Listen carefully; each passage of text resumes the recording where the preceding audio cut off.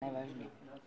Pa razgovarali smo zaista o onome što je prijedlog e, višegodišnjeg financijskog e, okvira, zakonodavni paket i sve ono što je pripadajuća podzakonska regulativa koja slijedi e, u sljedećih par mjeseci, dakle nešto o čemu ćemo sigurno se raspravljati i mislim da je važno danas da smo iznijeli stajališta koja smo praktički jučer i predsjednik vlade ista ta stajališta i na samitu koji je održan u Bratislavi među 14 zemalja koje su potpisale zajedničku izjavu o budućnosti kohezijske politike, a to je da se mi e, naprosto sa ovim prijedlogom komisije ne slažemo kad e, je riječ o rezanju e, sredstava koji se odnose na kohezijsku politiku u sljedećem proračunskom razdoblju za 5,6% prema trenutnom izračunu.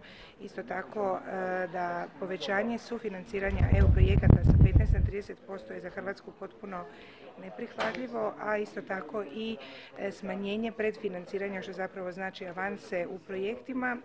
Još su dvije stvari ključne, to je da se eh, N plus 2 pravilo ne može eh, na neki način uvažiti u eh, najmlađoj zemlji članici, obzirom da smo mi tek praktički počeli koristiti fondove Europske unije, ja bih rekla 2016. aktivno i dio koji se odnosi na prijedlog komisije o tome kako revizijski E, treba utvrditi nakon pet godina za novo proračunsko razdoblje, da li će se za dvije godine kasnije e, na neki način dodijeliti sredstva ili neće, mislim da to isto tako je nešto s čim mi ne želimo na neki način ići.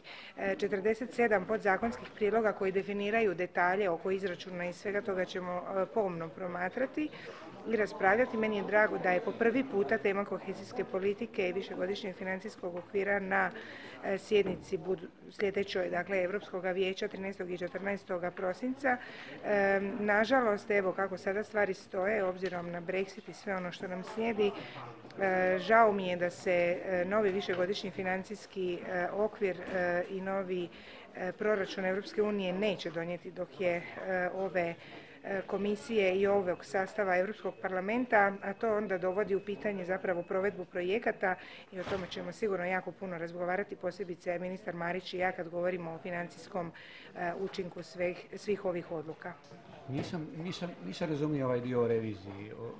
O čemu je riječ? Riječ je o tome, dakle prijedlog e, komisije ide u smjeru da e, dakle nakon pet e, godina se razgovara za u novoj financijskoj perspektivi o tome kakvi su učinci u provedbi, a tek onda da se odlučuje o preostale dvije godine koliko će se sredstava dodijeliti ili ne. Mi smatramo da taj prijedlog apsolutno nije prihvatljiv, nego želimo sedmogodišnje razdoblje sa konkretnim alokacijama da točno znamo na koji način ćemo dakle pristupiti uopće i planiranju i pripremi projekta. Thank you.